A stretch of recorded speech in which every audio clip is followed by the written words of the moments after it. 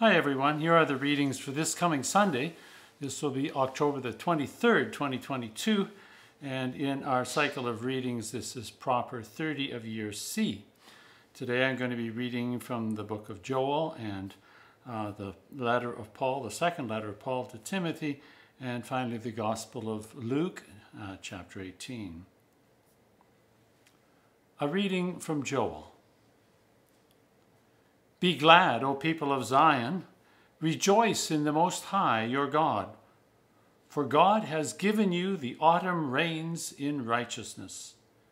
God sends you abundant showers, both autumn and spring rains as before.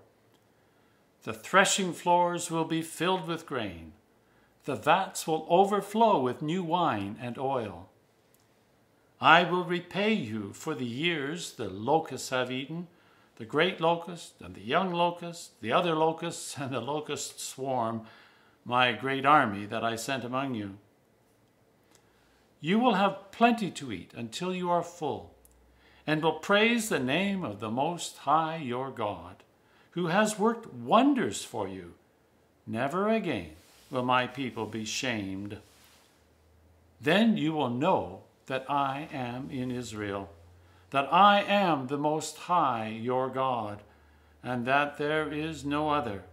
Never again will my people be shamed. And afterward, I will pour out my Spirit on all people.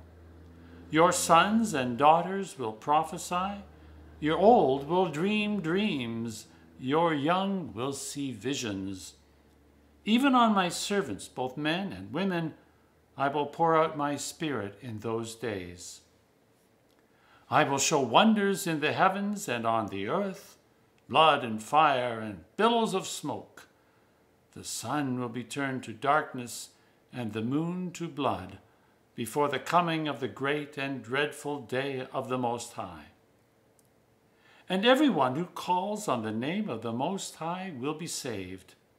For on Mount Zion and in Jerusalem there will be deliverance, as the Most High has said among the survivors whom the Most High calls.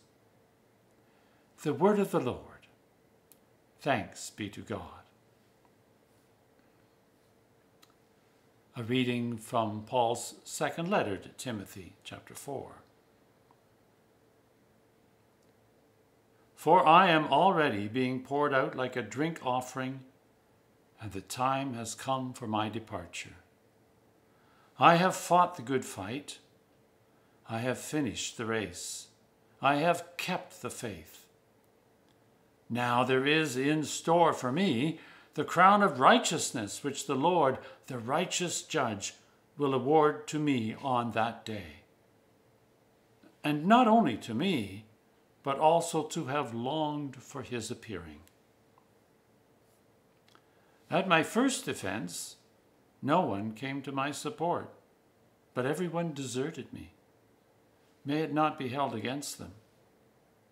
But the Lord stood at my side and gave me strength, so that through me the message might be fully proclaimed and all the Gentiles might hear it. And I was delivered from the lion's mouth. The Lord will rescue me from every evil attack and will bring me safely to God's heavenly kingdom.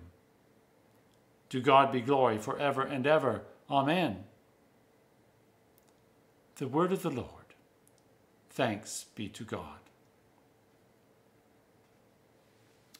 The Holy Gospel of our Lord Jesus Christ according to Luke.